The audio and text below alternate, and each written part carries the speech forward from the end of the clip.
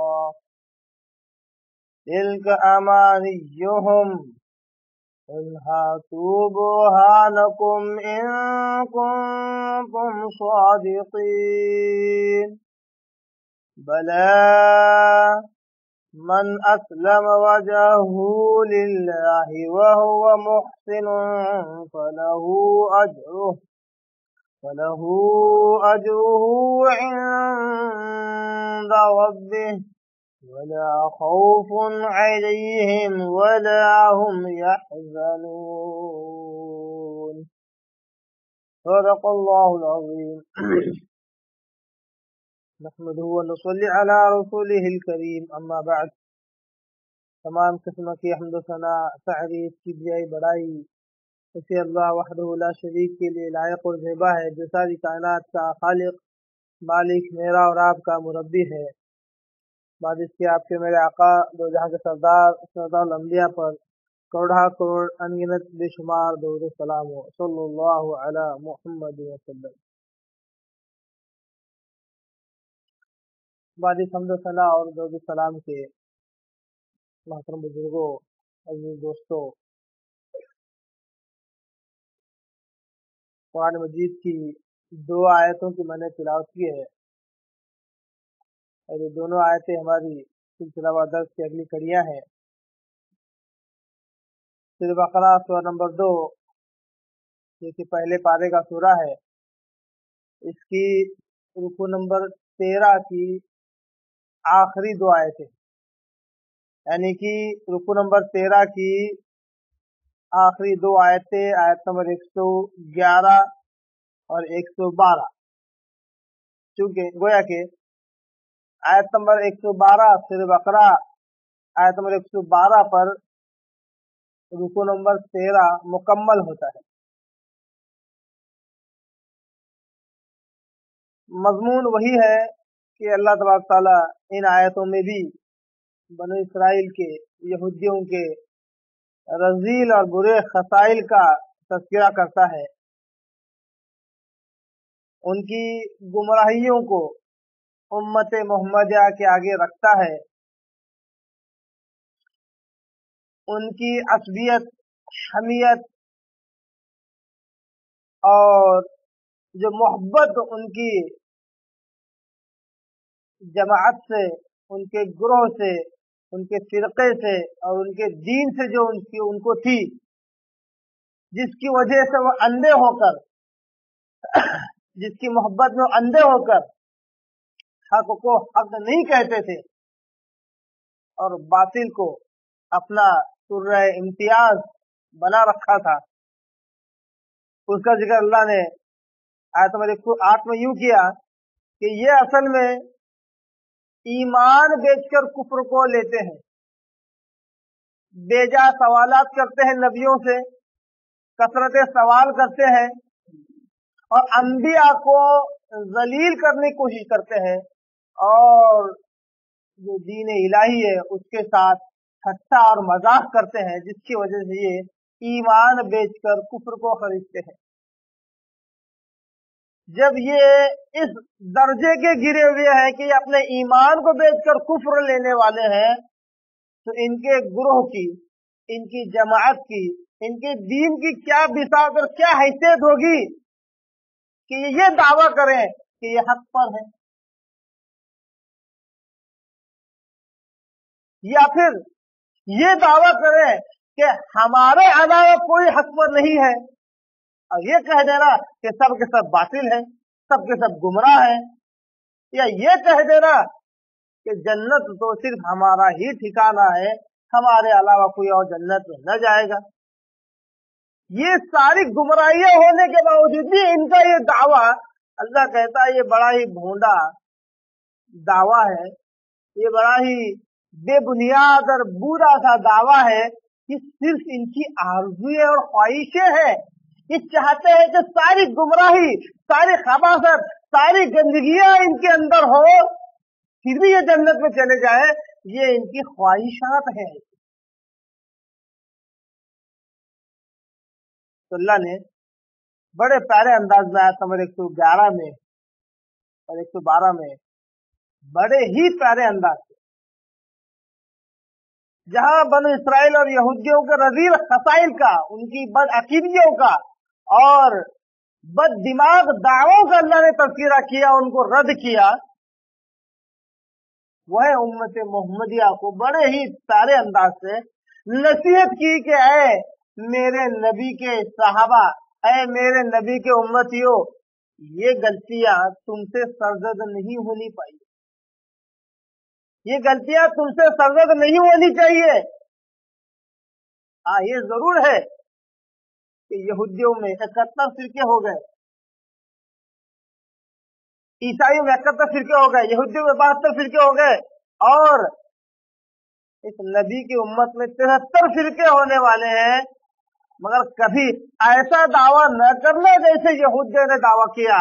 अगर वो दावा करते हैं तो जिस तरह कुरान ने इस बात की मोहर लगा दी कि वो गुमराह फिरका है, वो नजात पाने वाला नाजी फिरका नहीं, बल्कि जहन्नम में जाने वाला है कुरान की आयतों के मुताबिक। और उनके ये जो दावे हैं, ये बेबुनियाद, बिला दलील और बड़े ही भोंडे हैं सिर्फ़ उनकी आरजुए है। इस इनकी रविश पर जो भी जमात जो ग्रोह चलेगी, जो ऐसे दावे करेगी, वो भी इन्हीं के नक्श कदम पर चलते हुए जहन्नम का रास्ता नापेगी। ये उम्मत मोहम्मद का अल्लाह नसीहत करना चाहता है। आयतें बड़ी ही प्यारी है, खुशकिस्मत है वो लोग, जिन्हें कुरान मजीद की ये आयतों का माना और मफहूम समझने का मौका मिले। या समझ समझना की तोफीक इस बात की हो कि ये आयते के ऊपर गौर फ़िक्र करने का मौका मिले। यूँ समझ लीजिए कि सारे इस्लाम का निचोड़ हक और बातिल को समझने के लिए एक फुरकान इन आयतों में अल्लाह ने बयान किया। आज अक्सर लोग परेशान है कि मैं कौन सी जमात का, मैं कौन से फिरके का, मैं क्या करूँ, मैं किससे जुड़ू, मैं मैं किसके साथ उठू, बैठू? मैं किसको सलाम आदाब करूँ? किसके पीछे नमाज़ पढ़ू? किसके पीछे न पढ़ू? हज़ारों मसाइल, न सिर्फ़ अवाम को, बल्कि खवास को भी, पढ़े लिखे हजरात को भी, ये बहुत सारे मसाइल दरपेश है। और कुरान मजीद बड़े ही प्यारे अंदाज में, अल्लाह तला बड़े ही बेहतरीन और एहसन अंदाज में इन आयतों में हम लोगों को समझाता है। बड़ी बेहतरीन फुरकान आयतें हक और बातिल के दरमियान फ़र्क करने वाले वाली थे हक परस्त जमात हक परस्त ग्रोह कौन सा है? और गुमराह फिरके कौन से है? इस पर आ, बिल्कुल वाजा अंदाज में पूरी वजाहत के साथ पूरे वसूख के साथ मुझे ये बात बयान करनी चाहिए वरना इन आयतों का हक अदा नहीं होगा। अगर मैं इसमें जरी भी लचक इख्तियार करूँ कि इस आयत का माना मुफुम बयान करने में मैं किसी की, की, की, की अगर किसी का ख्याल रखूँ किसी के दिल आज़ादी का अगर ख्याल रखूँ तो यकीन जानिए आयत का हक वैसे अदा नहीं होगा जैसा अदा होना चाहिए। इसलिए बिना किसी इम्तियाज़ के बिना किसी आ, क्या कहते हैं किसी की आ, दिल का ख्याल रखे हुए मैं बड़ा रास्त आयतों का वो मफहूम बयान करना चाहता हूँ, जो अल्लाह ताला बयान करना चाहता है। पहले आकर ने जो, जिस तरह इसका मानो मफहूम समझाया, मैं उस तरह समझाना चाहता हूँ, मैं किसी बताते खुद, मैं किसी जमात, किसी फिरके की तरफ़ से कोई बात नहीं कह रहा हूँ, न ही किसी फिरके को मैं जलील और कमतर और कुछ डिग्रेड साबित करना चाहता हूँ, डिग्रेड करना चाहता हूँ, बल्कि मेरा मकसूद ये है कि अल्लाह की किताब, जो कि तू इस उम्मत मोहम्मद तक पहुँच जाए आकर की अहादीस अहादीस रसूल इस उम्मत तक पहुँच जाए, जो कि ये इस उम्मत का खोया हुआ खजाना है जो बहुत साल पहले इस उम्मत ने इसको पसे पुष्ट डाल दिया। और इसके बदल ऐसी बहुत सारी चीज़ें इस उम्मत इस उम्मत मोहम्मदिया ने अपना ली कि अब इनकी चंदा ज़रूरत इन्हें महसूस नहीं होती। मैं फिर से इस इस सोई उम्मत को जगाना चाहता हूँ। और ये दो अनमोल हीरे कुरान मजीद और प्यारे आका के फरमुदात इस उम्मत मोहम्मदिया के हाथों फिर थमा देना चाहता हूँ, जो कि बेहतरीन रहबर, बेहतरीन नूर और रास्ता है। उस शख्स के लिए जो जन्नत को पाना चाहता है, जो अल्लाह की रजा को हासिल करना चाहता है, जो हक परस्त जमात में रहना चाहता है, उसके लिए बहुत ही बेहतरीन ये दो नूर है, एक अल्लाह किताब और पहले आकाश की अहादी एक बात वजात से आप क्या रख दो क्योंकि अब इसके बाद लगातार ऐसी आयतें आने वाली है जिसमें हक परस ग्रोह हक परस जमात और बाकी सारे के सारे गुमराह इस किस्म की बातें बार बार आपको सुनने मिलेंगी। कहे किसी के जहन में ये शक शुबा न पैदा हो जाए कि, कि आखिर ऐसी कौन सी जमात ऐसा कौन सा ग्रोह है? जो हक है, ताकि हम उसके लेबल के तले, उसके झंडे के तले हम भी जमा हो जाए। ये शक और शुभा ये ख्याल किसी के जहन में आ सकता है। उस, उसके इजाले के लिए बात बयान कर दू कि हक परस्त जमात, हक परस्त गुरो जिसके ताल्लुक से पहले वसल्लम ने सही बुखारे से मुस्लिम और कई हाजिर किताब ने ये पेशन गोई की कि ये ग्रोह कयामत तक रहने वाला है। कयामत तक रहने वाला है। और इस ग्रोह का मुकाबला जो भी करेगा वो पास पास हो जाएगा। ये गुरु अपनी जगह साबित कदम रहेगा। तो वो गुरु किसी लेबल का नाम नहीं है। किसी ग्रोह और ऐसी जमात का नाम नहीं है, जो किसी फॉर्म के साथ, किसी, क्या कहते हैं सिस्टम के साथ, किसी एडमिनिस्ट्रेशन के साथ लेकर चल रही हो, सारे आका ने उस जमात के ताल्लुक से, उस ग्रोह के ताल्लुक से, जिसकी सिफात कहा कि वो अहल सुन्ना होंगे, यानी कि सुन्नत पर अमल करने वाले होंगे, उनकी निगाह में किसी का कौल, किसी का फेल, किसी की राय, किसी की समझ, किसी की फहम किसी की, क्या कहते हैं, चालाकी, ये अहमियत नहीं, बल्कि प्यारे आका की सुन्नत की अहमियत होगी, वो अहलु सुन्ना होंगे। आका की सुन्नत से मोहब्बत करने वाले होंगे, और अकेले अकेले अपनी दिल, अपने दिल और अपनी मर्ज़ी से नहीं करेंगे, बल्कि जमात की शक्ल में करेंगे। यानी कि जिस बात को साहबा मानते आए ताबाइन मानते आए, तब ताबाइन मानते आए अम्मा कराम मानते आए, उन्हीं बातों को जमात की शक्ल में मानते हुए आएँगे ऐसा गुरु होगा जो कयामत तक कायम रहेगा। इसकी सिफत आप ने ये बतलाई। जब साहबा ने पूछा अल्लाह के वो एक फिर जो तिहत्तर फिरकों में से एक फिरका है जो नजात पाने वाला है, जो जन्नत में जाने वाला है, उसकी सिफत बतलाई है वो कौन सा फिरका बतलाई है या किस तरह का होगा जो कयामत तक कायम रहेगा? तो अल्लाह ने कहा, उसकी सबसे बेहतरीन सिफत यह है कि वो उस चीज़ पर रहेगा, उस चीज़ पर कायम और दायम रहेगा, उस चीज़ पर उसके अकीदे होंगे, उस चीज़ पर उसका अमल होगा, जिस पर आज मैं हूँ और मेरे सहाबा है। जैसा अकीदा मैं रखता हूँ, वैसे अकीदा वो रखेंगे। जैसे अकीदा मेरे सहाबा रखते हैं, वैसे अकीदा वो वो फिरका वो जमात रखेगी। जैसा अमल मेरा है, वैसा ही अमल उस फिरके का, उस जमात का होगा। यहाँ पर एक बात, एक और गलत फहमी दूर करते हुए चले। बाज लोग कहते हैं कभी कभी ज़्यादा कुछ जब चंद किताबें पढ़ लेते हैं तो थोड़ा दिमाग बढ़ जाता है तो कभी ये भी दावा करते हैं और हम तो किसी जमात, किसी फिरके के नहीं। फिरका बनाना तो गुमराही है। बाजों इस तरह भी कहते हैं फिरका बनाना क्या कहते हैं? गुमराही है। फिरका बनाना गुमराही अगर होती मैं ये नहीं कह रहा फिरका बनाइए। अगर फिरका बनाना गुमराही होती तो आप वसल्लम ये न कहते कि मेरी उम्र के तिहत्तर फिरके होंगे। कितने होंगे? तिहत्तर फिरके होंगे। उसमें से एक फिरका होगा, जो कि नाजी होगा, नजात पाने वाला होगा। मालूम हुआ कि जो फिर, जो नजात पाने वाली जमात है, वो भी एक फिरका ही होगी। फर तफरीकन कहते हैं, अलग की गई चीज़। या तो वो अलग होंगे, या लोग उनको अलग करेंगे, अपने साथ मिलाएँगे नहीं। इस वजह से वो अलग अलग, सबसे अलग, सबसे हिटके नज़र आएँगे। तो फिरका कोई गुमराही नहीं है। वो एक फिरका है जो नजात पाने वाला है। असल गुमराही और हक की जो वजाहत है इसकी जो तमीज है, ये दलाइल से होगी। जो फिरका आप के अकायद पर, आप के अमाल पर, साहबा के अकायद पर, साहबा के अमाल पर ताबाइन तब ताबिन कराम मुहदिन इनके अकायद पर होगा, वो हक पर होगा। इनको छोड़कर किसी का कौल, किसी का फेल, किसी की समझ, किसी की राय, इसको अहमियत दे कुरान, मजिद और हदीस के आ जाने के बाद। मैं ये नहीं कह रहा हूँ कि कुरान, मजिद और हदीस नहीं है और किसी की राय पर अमल करे, कोई हद नहीं है। कुरान मजिद और हदीस सही किसी मसले पर मौजूद है। जिसको नफे स्वरही कहते हैं। नफे स्वरी यानी बिल्कुल पक्की वाजा बात कुरान मस्जिद में हदीस में मौजूद हो।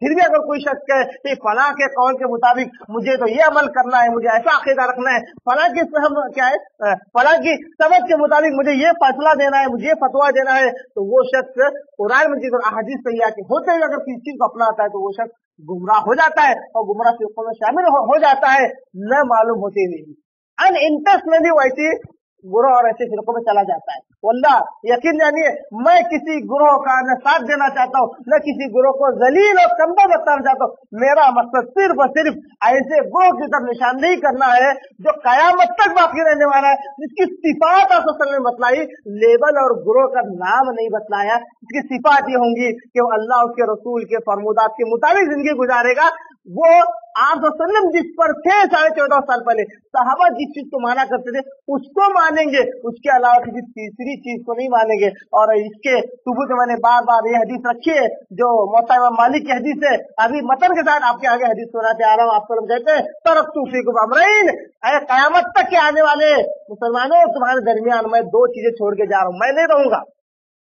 नहीं, अल्लाह तला बड़ा रास्त तुम्हारे पास आने वाला है। दो चीज़ें तुम्हारे पास छोड़े जा रहा हूँ।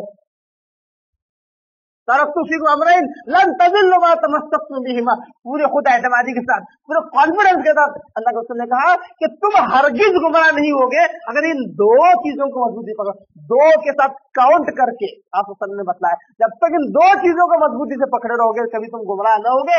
एक है किताब अल्लाह किताब, और दूसरा सुन्नत नबवी आप की सुन्नत आप के आदिश इन दो चीज़ों के पकड़ते हुए इंसान गुमराह नहीं हो सकता। आप की गारंटी इस पर है। आ, हाँ, दो के अलावा तीसरी चीज़ को मजबूती से पकड़ ले चांसेस है कि वो गुमराह हो जाए। तो आयत ऐसी है कि फुरकान है, हक और बातिल के दरमियान फ़र्क करने वाली है। और बिल्कुल बाकायदा इन आयतों में यही निशान देखी गई है कि गुमराह फिरके के अकायद क्या होते हैं। गुमराह फिरका किस किस्म के दावे करता है? अल्लाह चाहता है कि उम्मत मोहम्मद ऐसे दावे न करे। जैसा कि आइए, हम बढ़ते हैं आयत नंबर एक सौ ग्यारह की तरफ़ से बकरा सौ नंबर, दो रुको नंबर तेरह की आयत नंबर एक सौ ग्यारह। अल्लाह कहता है, वकालू लई जन्ना इल्ला हुदन और कहा इन यहूदियों ने, इन बनो इसराइल ने कहा नहीं है तो खुलल जन्ना. लन का मतलब होता है, हरगिज नहीं. यानी दावा है, चैलेंज है इसमें, उनके दावे पर। वो दावा कर रहे हैं और चैलेंज दे रहे हैं नहीं है तो खुलल जन्ना. नहीं दाखिल होगा कोई शख्स जन्नत में। यहूदी लोग कह रहे हैं, बनो इसराइल कह रहे हैं कि कोई सब जन्नत में दाखिल नहीं होगा। इल्ला मगर ये के मन का न जो के हो खुदन या तो यहूदी हो और नसारा, या नसरानी हो। अगर यहूदी है या नसरानी है तो ही वो शख्स जन्नत में दाखिल होगा, वरना वो जन्नत में दाखिल नहीं होगा। गोया के जन्नत की जमानत इस बात से दी जा रही है कि वो यहूदी के लेवल के तले हो या फिर नसरानी के लेवल के तले हो। अगर वो है तो जन्नत में जाएगा। ये दो लेवल के अलावा दुनिया के किसी भी लेवल के तले हो, चाहे हक ही क्यों ना हो, वो जहन में जाएगा उनके दावे के मुताबिक। श्री बकरा सुवर नंबर दो, रुको नंबर तेरह, आयत नंबर एक सौ ग्यारह। अब अल्लाह ताला इस उम्मत मोहम्मद से क्या चाहेगा कि यहूदियों ने ये दावा किया तो क्या वो हक पर थे? ज़ाहिर सी बात है, यहूदियों का ये दावा, बनो का ये दावा कि जब तक यहूदी ईसाई नहीं होते, तुम जन्नत में नहीं जा सकते, उनका ये दावा गलत, क्योंकि वो खुद बातिल पर थे, वो खुद गुमराही पर थे, हक था उनके पास, मगर अपनी खुद की शरारतों की वजह से, नाफरमानियों की वजह से अम्बिया को कत्ल करने की वजह से दीन का मज़ाक उड़ाने की वजह से फितने में मुबतला हो गए और हक से निकलकर बातिल में मुलविस होकर रह गए। बातिल में मुलविस होने के बाद अब ये दावा करना कि हम ही हक पर है, अल्लाह कहता है ये दावा बड़ा ही भूडा और बेबुनियाद है। इसलिए अल्लाह कहता है दिल का अमानी असल में ये इनकी सिर्फ़ ख्वाहिशात है। ये इनकी क्या है? अमानी यानी तमन्ना है इनकी। सिर्फ़ ख्वाहिशात है कि चाहते हैं कि सारी गंदगियों में ये लोग पोत रहे, मुलविस रहे, फिर भी जन्नत मिल जाए, इनकी ख्वाहिश है, जबकि हकीकत ऐसी नहीं है। अल्लाह कहता है, अगर ये तुम्हारा दावा है, कैसे अल्लाह तला है बन इसराइल है यहूदी अगर तुम्हारे दावा है कि सिवाय यहूदी और ईसाई के कोई शख्स जन्नत में नहीं जा सकता। अगर ये तुम्हारा दावा है हाथू चलो, ले आओ। वो हालकुम तुम्हारी ही दलील सही। तुम्हारा ही पुरुष सही, तुम्हारा ही पुराहे सही। तुम्हारा एप्लीकेशन सही, तुम्हारे सबूत लेकर बतलाओ। इनकुन तुम स्वादिकीन, अगर तुम सच्चे हो तो दलील लाओ अपने दावे के एवज अपना दावा करते हो तो दलील दरकार है। तुम भी अहले किताब हो। तुम्हारे पास भी आसमानी किताबें मौजूद है। उन आसमानी किताबों में ये जुमला या इस किस्म का की बात किसी आसमानी वही की रोशनी में ये बतला दो कि सिवाय यहूदी और ईसाई के कोई शख्स जन्नत में नहीं जा सकता। ऐसी कोई दलील लाकर बतलाओ अगर तुम दावा करते हो। अगर तुम सच्चे हो तो दावा लाकर दो, दलील लाकर दो। गौर करने का मुकाम है यहूदी और ईसाई अगर ये दावा करें कि हमारे अलावा कोई जन्नत में नहीं जा सकता तो अल्लाह कहता है, दलील लो अल्लाह कहता है, दलील लो आज मुसलमानों का कोई गुरु अगर ये दावा करता है कि हमारी जमात के अलावा कोई जन्नत में नहीं जा सकता, या हमारी ही जमात है जो नाजी फिरका अगर कोई दावा करता तो क्या उसके लिए दलील दरकार नहीं है? क्या उसके लिए दलील नहीं लगेगी? और वो गुरु, वो जमात जो आसम के दीन मुकम्मल हो जाने के साढ़े चौदह सौ साल पहले दीन मुकम्मल हो चुका है। That has been totally completed उसके पाँच सौ साल बाद, छह सौ साल बाद, हज़ार साल बाद अगर कोई जमात, कोई फिरका पनपता है, पैदा होता है जनरेट होता है और अगर वो ही दावा करे कि अब हमारा वो फिरका जो जन्नत में जाएगा, हमारा कोई जन्नत में जाएगा, नजात पाने वाला फिरका वो हम ही है तो क्या ऐसे फिरके के लिए कोई दलील की ज़रूरत नहीं है? अल्लाह कहता है कि यहूदी ईसाई जो क्या है किताब थे, उनसे अल्लाह तला दलील माँगता है तो ऐसे फिरकों से भी ज़रूर दलील चाहिए। अगर बिना दलील अगर वो कहते हैं तो यकीनन वो भी अहले किताब की रविश पर है, अहले किताब जहन्नम में जाने वाले हैं और ये भी जहन्नम में जाने वाले हैं। ऐसे ही जैसे कि अल्लाह ताला ने दूसरे मुकाम पर यहूदियों के ऐसे ही दावों को रद्द कर किया अल्लाह ने। बहुत सी जगह पर अल्लाह ने यहूदियों के दावों को रद्द किया। जैसा कि कुरान मजिद में एक जगह पे अल्लाह तला कहता है, इन यहूदियों के ताल्लुक से यहूदी कहते थे सूर्य मायदा सूर्य नंबर पाँच, आयत नंबर अठारह में, नहनु अबनाउ क्या कहते थे यहूदी लोग? नहनु अबनाउल्लाह हम तो अल्लाह के बेटे हैं। यहूदी लोगों का क्या दावा था? हम लोग जन्नत में क्यों जाएँगे? हमारा अल्लाह को जन्नत में क्यों नहीं जा सकता? क्योंकि हम जो है वो अल्लाह के बेटे हैं। वो अहिब्बाहू। अल्लाह के चहीते हैं हम। ये दावा था उनका। अल्लाह ने उनके दावों को रद्द इस तरह किया, पूछा कि अगर तुम अल्लाह के बेटे हो और अल्लाह के चहीते हो तो अल्लाह ताला तुम्हें आखिरत में अजाब क्यों दे रहा है क्योंकि वो मानते थे कि अगर हम कभी जहन्नम में गए भी तो कुछ दिन के लिए। हमारे गुनाहों के सबब। यानी उनका ये भी अकीदा था कि उनके गुनाहों के सबब अल्लाह ताला उन्हें जन्नत में आज़ाद देने वाला है। अल्लाह पूछता है, अगर तुम अल्लाह के बेटे हो, अल्लाह के चहीते तो अल्लाह ताला तुम्हें जहन्नम में आज़ाद क्यों ले रहा है? अल्लाह दावे का, दावे को रद्द किया। इस तरह एक और जगह उनका यही दावा था कि हम तो कभी जहन्नम में जाने के ही नहीं, जहन्नम की आग हमें छुएगी तक नहीं। लन तमस्तर नारू इल्ला कलीला। आग तो हमें छुएगी नहीं, मगर कुछ दिन यानी जहन्नम नहीं जाने का दावा करते थे अल्लाह ने कहा, अगर जहन्नम में नहीं जाने का दावा करते हो तो कोई दलील इस पर ले आओ तो अल्लाह तुम्हें हिसाब क्यों दे रहा है? अल्लाह तुम्हारी दुनिया में पकड़ क्यों कर रहा है? दुनिया में जलील क्यों कर रहा है? अल्लाह ने उनके दावों को रद्द किया। वैसे ही जैसा यहाँ पर अल्लाह ताला उनके दावे को रद्द कर रहा है कि अगर तुम ही जन्नती हो, तुम ही जन्नत में जाने वाले गुरु और जमात और फिरके हो, हाथू बुरहान अपनी दलील ले आओ, अपनी तरफ़ से सबूत ले आओ, अपनी तरफ़ से कोई प्रूफ ले आओ तो अगर तुम सच्चे हो तो। झूठे हो तो दलील लाने की ज़रूरत नहीं हर शख्स दावा कर सकता है। दावा करने का हक हर शख्स को है। मगर कामयाब वो शख्स होता है जिसके पास दलील मौजूद हो, जिसके पास प्रूफ मौजूद हो। बड़ी हैरत होती है मुझे मुसलमानों के इस हाल पर बड़ा ही अफसोस होता है। कभी कभी जारो कतार रोने को दिल कहता है कि आम तौर पर, मामूली तौर पर दुनिया का ये सिस्टम है कि अगर किसी मुजरिम को कोर्ट में खड़ा कर दिया जाए और उसके तरफ़ से अगर कोई ये दावा करे कि वो मुजरिम है, कातिल है तो जज उसको सजा नहीं देता। उसको फांसी पर नहीं लटकाता। उसको सजा उम्र कैद नहीं देता। तो पूछता है, ठीक है, तुम्हारे दावे सही है, एक को दलील पेश करो। एक जज जब ये मांग सकता है, कि एक दलील पेश करो, ये हंड्रेड एंड वन परसेंट तुम्हारे दावे के मुताबिक कातिल है। मगर मैं इसको उस वक्त तक सजा नहीं दे सकता जब तक ये दलील मौजूद ना हो, जब तक ये पुरुष मौजूद ना हो, जब तक के उकला हजरात कोई दलील पेश नहीं करते। जज कहता है कि मेरी आँखों पर पट्टी है, मैं बगैर दलील के कोई फैसला नहीं दे सकता। ये मुसलमान कैसे हैं?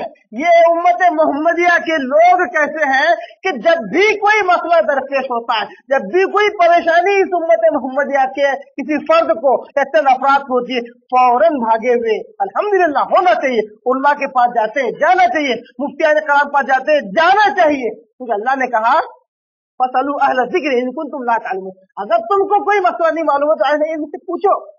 बिल्कुल जाना चाहिए। मगर जब वहाँ जाए, जब वहाँ जाए, जब आप कोई सवाल करें, और मुफ्ती आने कराम या उलमाए कराम जवाब दे तो आपका यह हक बनता है कि आप पूछे कि ये जवाब किस दलील की बुनियाद पर है।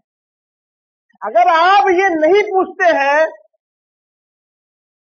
तो आप भी गुमराह होने के चांसेस हैं, और जो शख्स आपको फतवा दे रहा है, वो भी गुमराह होने का चांसेस इम्कान है पूरे। क्यों? ये ऐसे ही है, जैसे एक मिसाल दे रहा हूँ। हो सकता है इस दर्द को दो हफ़्ते करेंगे हम, दो बार करेंगे, और बातें पूरी पूरी आ जाए ताकि इस आयत का हक पूरी तरह अदा हो जाए। वो ऐसी है जैसे, अगर हम चंद अफराद मिलकर एक वकील साहब के पास जाए और उनसे पूछे कि अगर कोई शख्स कत्ल करता है, किसी का मर्डर करता है तो उसकी सजा क्या है? इस हिंदुस्तान के दस्तूर के मुताबिक क्या है? वो कहे, बस दो मिनट रुकिए, अभी लाता हूँ उसकी दलील अंदर दौड़ा हुआ जाए। ऐसा गौर कीजिए इस मिसाल पर। और इसको फिट कीजिए। इसको मैच करने की कोशिश कीजिए। उम्मत मोहम्मदिया के उन हरकत और अहमाल की तरफ़ जो ये अपने उलमा के साथ करते हैं। मैं ये नहीं कह रहा हूँ उलमा से मत पूछिए। जो शख्स उलमा उनसे बेपरवाह हो गया उससे गुमराह हो गया। उलमा पर जाइए, मगर ये सिस्टम मत बिल्कुल ये सिस्टम मत अपना ही जिसकी मैं मिसाल दे रहा हूँ। क्या? वकील के पास गए, हमने पूछा, उसने कहा, अभी दो मिनट रुकिए। अंदर भागा हुआ वकील साहब गए और एक किताब, छोटी सी किताब ले आए, जिस पर धूल चढ़ी हुई थी, झटकाया और कहा, हमारे दादा के उस्ताद की किताब, जिसके 200 पन्ने हैं, उसके सफ़ा नंबर 150 के पन्ने के मुताबिक जो शख्स कत्ल करे, उसको बर्फ़ की सीलों में कैद करके मौत देना चाहिए। अगर वकील इस तरह का जवाब दे तो आप क्या कहेंगे? आप क्या कहेंगे? आप कहेंगे, ये वकील नहीं है ये। ये वकील नहीं है इसको कानूनों का कोई इल्म नहीं है, तभी तो दादा के उस्ताद की किताब का हवाला दे रहा है, जो आज से दस साल पहले लिखी होगी, पाँच साल पहले लिखी होगी, पचास साल पहले लिखी होगी, है ना? ये वकील नहीं है। मैं कहता हूँ, इसी तरह का रवैया, मैं ये नहीं कह रहा गुरमा को आप है ना नीचा दिखाइए, मैं ये कह रहा हूँ कि दलील मांगी अल्लाह कहता है, हाथ गुरहान दलील लाओ। तो जब उलमा के पास मुफ्तियान के पास जब जाए, अगर वो भागते हुए अंदर जाए और पचास साल पहले लिखी हुई किताब लाकर झटका कर कहे कि इसके सफ़ा नंबर पचास पर ये लिखा हुआ है तो आप पूछ नहीं सकते कि इस्लाम पचास साल पहले का है कि साढ़े चौदह साल पहले का है पूछ सकते हैं कुरान कब नाजिल हुआ? साढ़े चौदह साल पहले क्या पचास साल पहले? अगर वक्ती वो किताब सही है, जिसका हवाला दिया जा रहा है तो उस किताब में इस कुरान की आयत का हवाला है, वो कुरान की आयत बतलाइए, ताकि हम उसको देख सके। उस किताब में हदीस का जो हवाला है, वो हदीस बतलाइए। अलहमदिल्ला आज इल्म बहुत वसी हो गया है, हर जगह अवेलेबल है। लाइब्रेरी की लाइब्रेरियाँ भरी हुई है। आज इस किताबें हर जगह मौजूद है, जाकर खोलकर देखा जा सकता है। अगर वो कहे, नहीं, ये किताब हमारे मौलाना की है, हमारे इमाम साहब की है, हमारे पीर मुर्शद की है, जिसमें खाली फतवा लिखा हुआ है। अगर कोई ऐसा करे तो ऐसा करना चाहिए। अगर कोई फला और फला करे तो ऐसा करना चाहिए। कोई दलील मौजूद नहीं है। तो ऐसी किताब को, ऐसी फतवे वाली किताब को उसके मुँह पर दे मारे, क्योंकि तो अल्लाह कहता है हाथू बुरहान को अपनी दलील ले आओ, अपने दावे के। अगर कोई फतवा मौजूद है तो उसके लिए दलील दरकार है। कम अज कम कुरान मजिद हदीस से सहिया की रोशनी में कम से कम वो बात हो। अगर मुस्तहिद से कोई गलती हो जाए तो अल्लाह ताला उसको ज़रूर एक अज्र देगा। अगर सही हो जाए तो दो अज्र देगा। कम से कम उसकी रोशनी में तो हो। तो अल्लाह माफ़ करे, बहुत सारी किताबें ऐसी पढ़ने में आती है, जो नाम को फतवों की किताब होती है, नाम को मसाइल किताब होती है, जिसमें यह होता है, अगर कोई शख्स शुरुआत ऐसे होती अगर कोई शख्स, यानी ये वाक्य किसी के साथ हुआ ही नहीं कभी, फिर भी बनाया गया। एक रिवायत याद आती है, उमर फारूक के पास एक शख्स आया और कहा कि अरे उमर फारूक, मुझे एक मसला है कहा पूछो? अगर मेरे साथ कभी ऐसा और ऐसा हो जाए तो मैं क्या करूँ? कोड़े उठाया। उमर फारूक ने कोड़ा उठाया और कहा कि, अगर दोबारा अगर ऐसा सवाल किया तो तुझे कोड़े लगाऊँगा मैं। जा, जब ये मसला तुझ पर दरपेश हो, तब आकर पूछना हालात में मुलविस है ही नहीं, हालात में फंसा नहीं, पर आज पूछ रहा है, कभी मत करना और मैं कोड़े लगाऊँगा, भगा दिया आपको।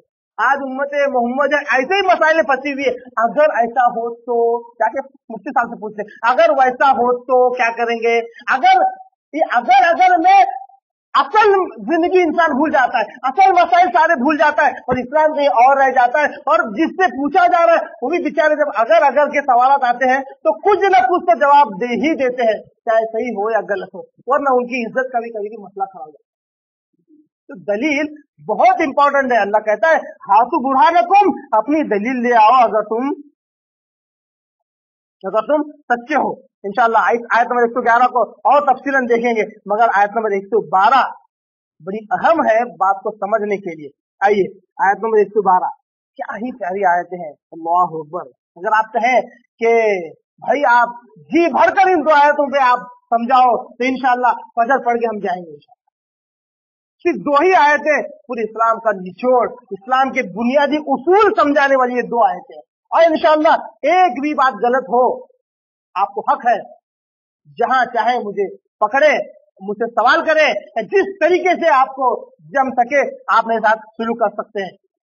और इंशाला अगर गलती मेरी कुरान मजीद और अहदीस तैयार की रोशनी में हो तो मैं ज़रूर रुजू करूँगा। अगर किसी की मर्ज़ी, किसी ख्वाहिश के मुताबिक हो अगर मेरी गलती तो मैं उसको रुजू नहीं कर सकता।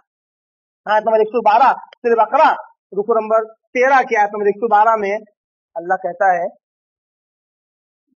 पहले अल्लाह ने कहा कि अय यहूदी हो है बनो इसराइल, अगर तुम्हारे दावा है कि तुम्हारे अलावा कोई जन्नत में नहीं जाएगा यहूदी और ईसाई के अलावा कोई जन्नत नहीं जाएगा तो ये तुम्हारी सिर्फ़ ख्वाहिशात है। अगर तुम सच्चे हो तो दलील ले आओ। अब दलील किसको कहते हैं? कयामत तक के लिए अल्लाह ने यहूदियों से भी यही दलील मांगी थी। इस उम्मत मोहम्मद से भी यही दलील मांग रहा है। कयामत तक आ रहे लोगों से अल्लाह तला यही दलील मांग रहा है, जो आए तो एक सौ बारह में बड़ा ही प्यारा और लतीफ नुकता है बड़ा ही प्यारा नुकता है अल्लाह क्या कहता है? बला। आयत एक सौ बारह की शुरुआत कैसे थी बला, यानी क्यों नहीं? दलील देना चाहिए। कैसे देना चाहिए दलील? बला, क्यों नहीं? मन असलम जो कोई झुका ले अपने आप को अल्लाह के लिए, यानी इखलास इसके अंदर मौजूद हो। अल्लाह की रजा के लिए अगर कोई शख्स काम करे, अपने आप को अल्लाह के लिए झुका ले। पहली चीज़, दूसरी चीज़, वह हुआ मुहसिन और वो मुहसिन भी हो। रब्बी, ऐसे शख्स के लिए उसके रब के नज़दीक अजर है, सवाब है, नेकी है। वाला खौफुन अलैहिम वला हम यहजनून। अल्लाह के ताल्लुक से जो आयत है आमतौर पर लोग इसको कोट करते रेफर करते वो आयत अल्लाह ने बयान कर रहा है। जो जिस शख्स के अंदर ये दो चीज़ें मौजूद हो, अल्लाह के लिए अपने आप को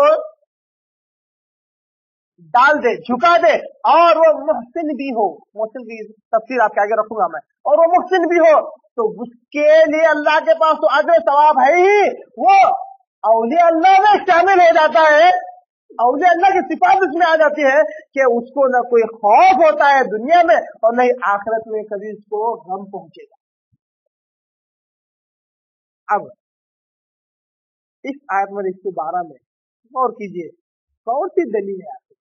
तो अल्लाह कयामत तक रखना चाहता है और चाहता है कि यहूदी भी इसी में से दलील दे यही दलाइल दे और आ, आने वाले कयामत तक के अपराध भी अपने दावे के लिए इन्हीं में से दलील दे। क्या है आतम रिफ्त बारह में दलील।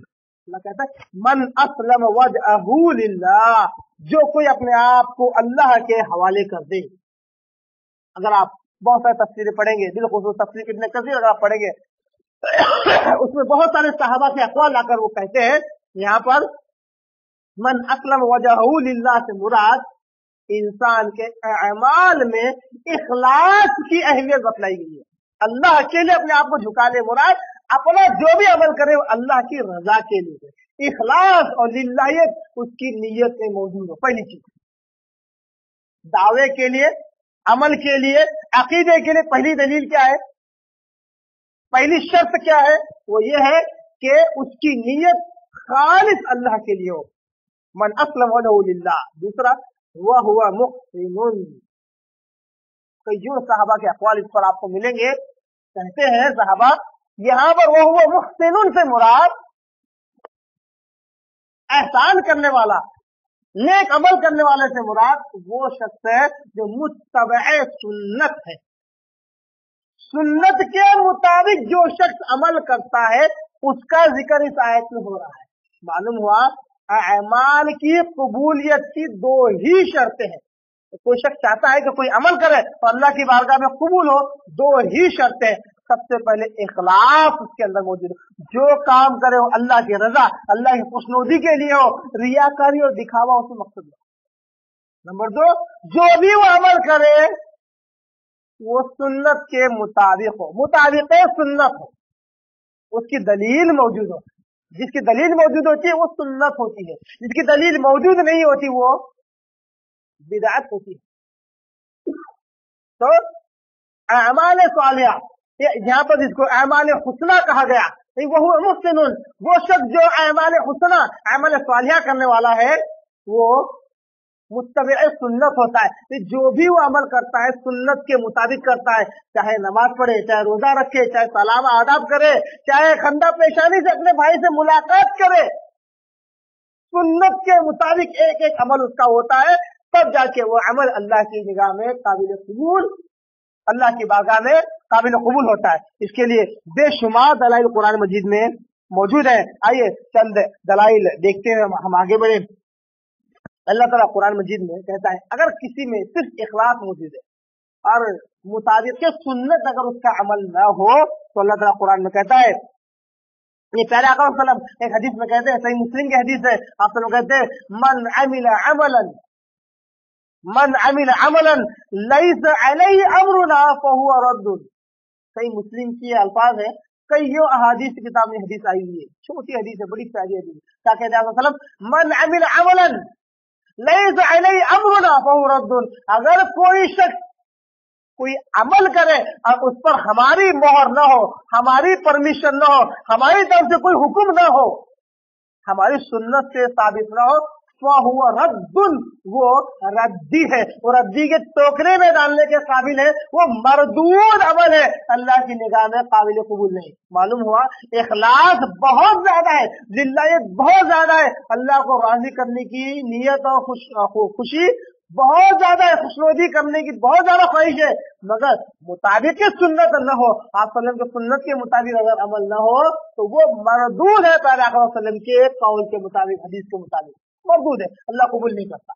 जैसा बहुत सारे रहमान बहुत सारे राहिब, बहुत सारे सूफी हजरात अल्लाह की इबादत में मशगूल हो जाते हैं। अल्लाह की इबादत करते रहते हैं। इतनी करते इतनी करते हैं कि उनके दावे के मुताबिक वो अपने आप को एक वक्त आता है कि फना कर देते हैं, जिसको वो फना फिल्लाह कहते हैं। यानी इस तरह फना हो जाते हैं कि उनको उनका खुद का होश नहीं होता कि वो कपड़े पहने हुए हैं या नंगे अगर ये इखलास है, इसकी वजह से अगर तुम्हें साफ़ दिया जाना चाहिए था तो सबसे पक्के, सबसे बड़े वली तो अल्लाह के रसूल होना चाहिए था।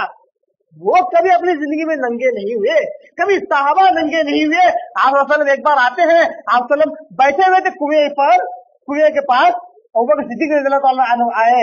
हज़रत उमर फारूक रज़ी तु आए, हज़रत उस्मान गनी रज़ी तु आए। उस्मान गनी रज़ी तु रार थोड़ी सी खुली हुई थी और छुपा लिया कहा, यह है हया, जो कि ईमान की शाख है। उस्मान गनी रजल्ला के तले से क्या कहा, ये हया में कामिल है ये। सबसे ज़्यादा हयादार है ये।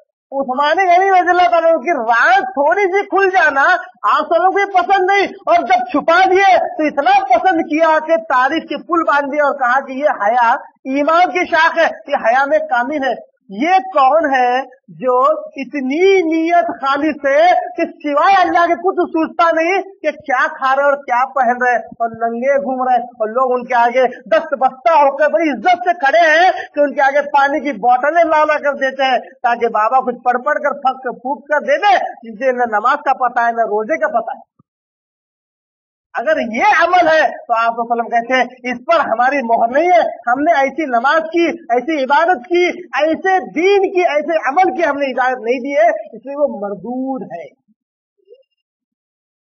इसी तरह अल्लाह ताला सूर्य फुरकान, सूरह नंबर पच्चीस के आयत नंबर तेईस में कहता है, वक़दिमना इला अमिलू मिन अमलिन हबाम मंसूरा। हवाम मंसूरा जब हम आखिरत के दिन हशर के मैदान में लोगों के अमाल की तरफ़ देखेंगे और उनके अमाल में इखलास तो है, मगर मुताबिक सुन्नत नहीं है। या उसके अमल में शिरक पाया जा रहा है। अल्लाह कहता है हवा मंसूरा तो हम उसके सारे अमाल को एक ही फूंक से उड़ा देंगे। उसके सारे अमाल को हम जाया कर देंगे। इस तरह अल्लाह ताला एक और जगह पर सूर्य नूर सूर्य नंबर चौबीस के आयत नंबर उनचालीस में अल्लाह ताला बड़े प्यारे अंदाज में काफिरों की तरफ़ इशारा करते हुए कहता है, क्योंकि काफिर भी है, वो भी बड़ी अच्छी नीयत और इखलास के साथ ही बहुत सारे ऐसे काम करते हैं कि कभी कभी मुसलमान भी उनके से उनसे पीछे रह जाते हैं। बड़े बड़े हॉस्पिटल खोलते हैं मुस्लिम, काफिर। और इतनी दिलजोई के साथ इस सोसाइटी की, इस माशरे की खिदमत करते हैं कि उनकी नेक नियति देखकर तो कोई मुसलमान हो सकता है। बैठ जाओ कहे कि सबसे पहले जन्नत अल्लाह इनको ही देना चाहिए। क्योंकि इतनी इतनी उनकी लिल्लाहियत, इनकी इतना इखलास इनके अंदर होता है कि खुद का नुकसान कर लेंगे, मगर सामने का नुकसान कभी होने नहीं देंगे। देखिए आप, जब गर्मी के दिन हो हालाँकि औरंगाबाद मुस्लिम माशरा है, मुस्लिम शहर है, मगर जितने भी पानी के लगे होते अक्सर गैर मुस्लिम के होते क्यों?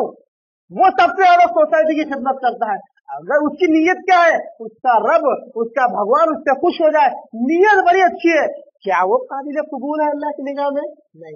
मुताबिक सुन्नत न होने की वजह से, ईमान के न होने की वजह से अल्लाह तला उसकी मिसाल यूँ देता है। वल्लजीन बेशक जो लोग जिन्होंने कुफ्र किया अमाल उनके अमाल ऐसे है जैसे के जैसे के शराब शराब कहते हैं रेगिस्तान में अगर कोई प्यासा दूर से रेगिस्तान में देखे तो उसको ऐसा लगता है जैसे पानी लहलहा रहा है। पानी लहला दौड़ता हुआ जब वहाँ पर जाता है तो वो रेत चमकती होती है। जिसको रिफ्रैक्शन ऑफ़ लाइट कहते हैं साइज़ में। रेत चमक में पानी नज़र आता है, जिससे धोखा खा जाता है। इसको अल्लाह ने कहा सवाबिन काफिर के अहमाल जो कि बड़ी अच्छी नीयत से किए गए हैं। वो ऐसे जैसे कि शराब बकीअतिन, कि उनका होना ऐसा है जैसा यह सबू माउन, के कोई प्यासा ये गुमान करे कि वो तो पानी है। हत्ता इदा जाहू जब वो दौड़ा हुआ उस तक पहुँचे, लम यजिद शिया वहाँ पर कोई चीज़ न पाए। प्यासा प्यास शिद्दत से मर रहा हो और रेगिस्तान हो जहाँ पे पानी का नाम और निशान तो क्या? एक पेड़ नज़र में आता हो छाव के लिए। जब दौड़ा हुआ पानी के पास आए तो वहाँ पे कुछ भी ना पाए। काफिरों के अहमाल की मिसाल बड़ी बेहतरीन अंदाज मल्ला ने दिया कि वो सारे अहमाल करते हैं। जब रब के पास पहुँचेंगे तो कुछ भी नहीं पाएँगे। सिवाय बर्बादी, नाउमीदी के कुछ भी इन्हें हासिल नहीं होने का। ये है इखलास नीयत तो मौजूद है, मगर मुताबिक सुन्नत अमल नहीं होने की वजह से सारे अमाल जाया है। इसी तरह दूसरी चीज़, जाहिरी इतबाई सुन्नत में मौजूद है। अमाल में तो सुन्नत मौजूद है, मगर नीयत में इखलास न होने का नुकसान क्या है? अल्लाह ने कहा, सुरे निसा के अंदर इन मुनाफिकीन अल्लाह कहता है, बेशक मुनाफिकीन जो जाहिरी ईमान लाए हुए सारे ऐमान इनके नबी के पीछे है मतलब सुन्नत के मुताबिक है। नबी के पीछे नबी जो करे वो कर रहे हैं। सुन्नत के मुताबिक अमल है, मगर दिल में ईमान नहीं है लिल्लाहियत नहीं है। अल्लाह को रजा करने के लिए अमल नहीं है। इसलिए अल्लाह कहता है, ये असल में सोच रहे हैं कि अल्लाह को धोखा दे रहे हैं। वह ख्वाजे हम जबकि अपने आप को धोखा दे रहे हैं। वहीदा कौम सलाद जब ये नमाज़ के लिए खड़े होते हैं पामो कुसाला बड़ी सुस्ती और काहिली के साथ खड़े होते हैं कि खड़ाई क्यों हुआ मैं? युराउन नाच असल में खड़े होते हैं ताकि लोगों को दिखाए, देखो हम भी नमाज़ पढ़ रहे हैं। हम भी मुसलमान है हम भी मस्जिद को आते हैं। जैसे ही मस्जिद में निकले असला वाले तो सलाम वाले को चार लोगों को सलाम करते निकलने का, ताकि मालूम हो जाए कि साहब मस्जिद को ही जा रहे हैं। आ रहे हैं। हाँ सलाम वालेकुम, क्या भाई मस्जिद में दिखे नहीं? असला वालेकुम, क्या भाई आए नहीं? दस लोग सवाल इस वजह से, ताकि लोग मालूम हो कि नमाज़ से आ रहे हैं। टोपी उस वक्त तक नहीं निकालने का, जब तक घर में आ जाए। या टोपी उस वक्त उस वक्त पहन लेने का जब मस्जिद के लिए निकले, ये सारे दिखावे के काम है, ये मुनासिबीन के ऐमान है। अल्लाह ने कहा, ये जब नमाज़ के लिए खड़े होते हैं तो बड़ी सुस्ती और काहिरी के साथ खड़े होते हैं युराउन असल में इनका दिखावा मकसद होता है। वाला यदकुरून अल्लाह, ये असल में अल्लाह को याद ही नहीं करते। अल्लाह का ज़िक्र करते नहीं, इल्ला कलीला, मगर थोड़ा सा बस अल्लाह को याद कर ले। बताइए ऐसी बात कितने मुसलमानों में नमाजें पढ़ते, सारी दिखावे के लिए। और आते भी तो बड़ी सुस्ती और कायदी के साथ पढ़े पढ़े, नहीं पढ़े नहीं पढ़े, क्या रुकू, क्या सिद्धे कब रुकू कंप्लीट हो रहा है कब सिद्धा कंप्लीट हो रहा है ये भी समझ में नहीं आता। सिद्धे और रुकू में फ़र्क नहीं मालूम। रुकू के बाद खड़े होने में फ़र्क नहीं मालूम। बड़ी प्यारी हदीस याद आती है, साहबा कहते हैं, आप वसल्लम की जो नमाज़ थी, इतनी इतमान वाली थी, इतनी सुकून वाली थी कि आप वसल्लम का रुकू। सही बुखारी हदीस है। आप सलम का रुकू, आप सलम के रुकू के बाद उठना, दोनों सीजदे और दोनों सीजदों के दरमियान बैठना, ये सब बराबर बराबर था। अब आप बताइए, किसकी नमाज़ है ऐसी? किसकी नमाज़ है ऐसी? कि रुकू में जितना वक्त लगा रहे, उतना वक्त खड़े होने में कौन लगा रहा है? दोनों सीधे में जितना वक्त लगा रहे हैं दोनों सीधों के दरमियान बैठने में कौन वक्त लगा रहा है? आप समझते तो नहीं ये थी नमाज़, जिसमें इतनी दिलजोई के साथ, इतने शौक के साथ आप नमाज़ पढ़ते थे, कि साहबा कहते जब आप रुकू से उठते तो एक एक हड्डी अपनी अपनी जगह पर जब तक नहीं आ जाती आश्रम क्या इतना रखते उठने खड़े हो जाते एक एक हड्डी अपनी अपनी जगह पर आ जाए।